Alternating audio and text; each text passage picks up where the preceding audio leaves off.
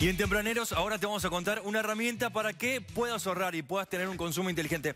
En este caso la encontramos y está buenísima, es de Metrogas. Mira, acá te dicen convertirte en un cliente Smart. Tiene diferentes opciones, mira, tiene un simulador de consumo, tienes un comparador de servicios, eh, compara el consumo de los eh, servicios y de los electrodomésticos, algunos pueden ser de gas, otros pueden ser de electricidad, y en este caso la proyección, la proyección de facturas, ahí lo digo bien. Mira, vamos a hacer un ejemplo para que entiendas. Está bueno porque podés comparar lo que gastabas el año pasado y lo que vas a poder gastar o lo que supuestamente gastarías en el futuro para que uno obviamente pueda empezar a ahorrar. Haces clic en comenzar y te va a aparecer esta pantalla. Acá tenés que ingresar tu dirección de correo electrónico y después lo que vas a tener que poner es tu número de cliente. Eh, el número de cliente te aparece arriba en la factura. Eh. Ahí lo tenés, los ingresás son números, das clic en continuar y depende, eh, obviamente, de lo que gastes en tu casa, te va a aparecer esto. Con respecto a lo que gastabas el año pasado, esto te hace un comparativo de los mismos metros cúbicos que utilizaste el año pasado con las tarifas actuales y obviamente vigentes. Entonces te va diciendo, ves, mes por mes. Lo bueno de todo esto, que lo puedes ver en una lista,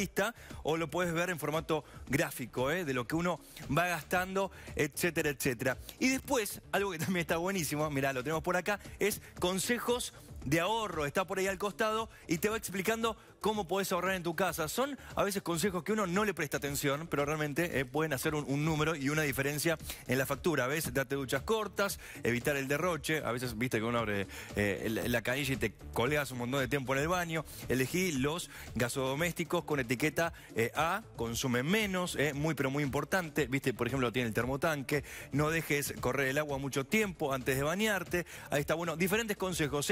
La dirección la tengo por acá, así ustedes pueden entrar. Es consumointeligente.com.ar consumointeligente.com.ar una opción para poder ahorrar. Y si querés eh, para hacer la proyección es consumointeligente.com.ar barra proyección